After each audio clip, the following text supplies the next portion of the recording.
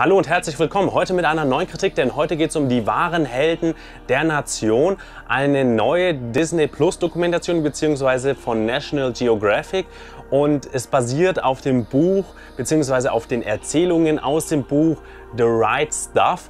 Und es wird hier die Geschichte erzählt vom ersten NASA-Flug ins All bis hin zur Mondlandung. Das ist beeindruckend, was die Aufnahmen angeht, aber erzählerisch an vielen Stellen etwas langweilig bzw. simpel gehalten. Der Film oder der, ja, die ganze Dokumentation ist wenig imposant gestaltet. Wir haben hier super coole, hochwertig aufbereitete Originalaufnahmen aus dem Archiv, aber sonst eben insgesamt relativ wenig. Der Film macht optisch da wenig draus, hat auch keinen Erzähler großartig. Immer wieder mal wird äh, Zitate aus dem Buch rausgenommen, aber sonst ist das über 90 Minuten manchmal etwas schleppend. Interessant, aber viel macht die Doku leider nicht draus. Da wäre so viel mehr möglich gewesen. Vor allem, wenn man die Qualität von National Geographic kennt, dann ist das schon so ein bisschen ein Downer. Dementsprechend ist das Ganze nur eine nette Doku, die mich aber leider nicht umgehauen hat. Insgesamt ein bisschen träge erzählt ist wobei die Bilder natürlich schon beeindruckend sind. Dementsprechend jeder, der so wirklich Bock drauf hat und sich darauf einlassen kann, dass es etwas langsamer ist,